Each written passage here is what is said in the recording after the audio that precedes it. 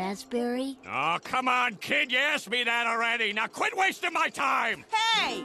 You can't talk to my son that way! Who do you think you are? I'm Plankton, you old hag, and your son smells like boogers. Hey, you can't talk to my wife that way. What do you think this is? I think it's time for you to lose some weight, fatty. That's what it is. Hey, you can't talk to my grandson like that. Someone ought to put you in a mental hospital. Someone should put you in a box floating down the river, Grandma.